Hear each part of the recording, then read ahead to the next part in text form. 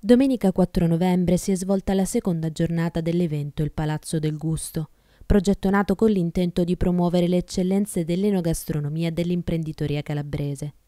Dopo la vasta partecipazione alla prima giornata ha avuto luogo la seconda parte della manifestazione, con convegni che hanno interessato l'aspetto tecnico del progetto come la tutela ambientale e alimentare, il laboratorio sulle erbe e le spezie, una degustazione da parte delle aziende ospiti all'evento e infine la seconda parte dello show cooking, con prestazioni di alto livello nel preparare le prelibatezze calabresi.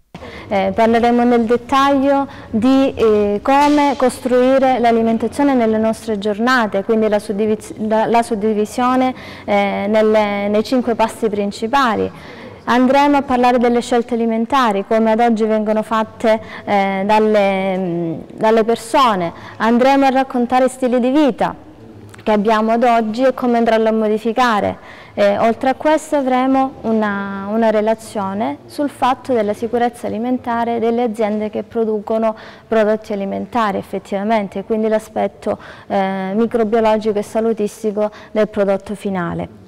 Infine avremo eh, in dettaglio la descrizione di che cosa significa alimentazione sostenibile, cioè cosa significa alimentazione sostenibile, l'impatto che hanno le nostre scelte alimentari sull'ambiente eh, circostante. Quindi andremo un po' a chiarire un po' magari di dubbi che si possono creare eh, ad oggi, che spesso sentiamo parlare di alimentazione sostenibile, ma effettivamente non ne sappiamo il significato. Allora questo è un incontro molto importante perché finalmente possiamo parlare a più voci di sostenibilità. Eh, io sono il presidente dell'associazione Biosfiera, noi abbiamo accolto eh, con grande entusiasmo l'invito della Proloco di Roccella a partecipare a questa manifestazione perché è fondamentale e importante parlare di sostenibilità alimentare, sostenibilità ambientale e di dieta mediterranea e questo possiamo farlo non soltanto, non soltanto discutendo